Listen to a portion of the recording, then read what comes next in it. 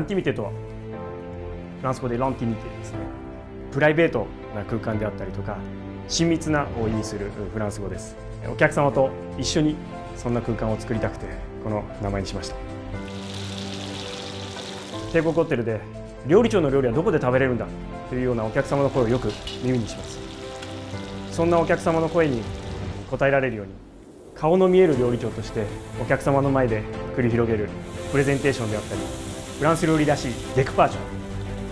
細かなところでは一皿一皿お客様の反応を見て塩加減、えー、お腹の具合なんかをお客様とキャッチボールしながらですねお料理を仕上げる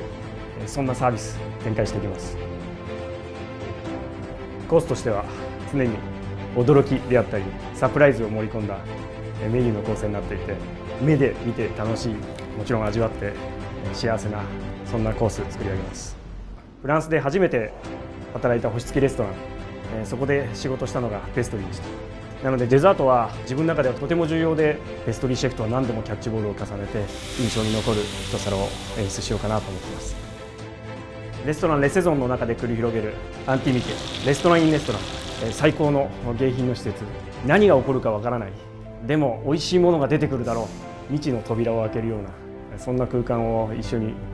作り上げられたらなと思います。